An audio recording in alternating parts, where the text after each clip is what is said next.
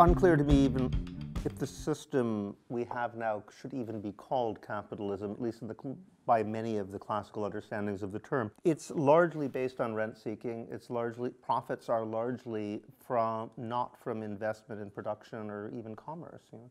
It's, it's from the artificial production of debt. And the human costs of this are enormous. I mean, even if you compare Germany and, and the UK, two places which should be on roughly the same economic level, you know, wages have gone up something like 20% um, in mm. real terms in Germany in the last, what is it, two decades or so. But, you know, during the same period, they went down effectively here. You know, we have nurses using food banks. We have, you know, poverty level life experiences for people who are working quite hard.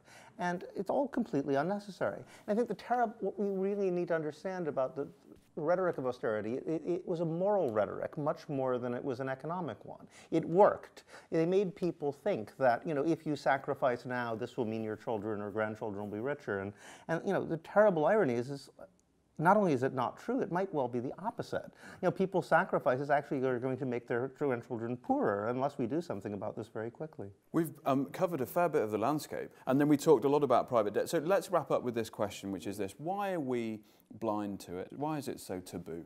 We have this fantasy that, that um, economists do that, you know, economies are a giant barter system. I think that a lot of people would be very uncomfortable of understanding this. whole, whole political rhetoric is based on the assumption that the economy works in a way that doesn't really work. And people don't want to rethink everything, especially when so many people have made so many sacrifices, real human sacrifices, in the name of a false understanding.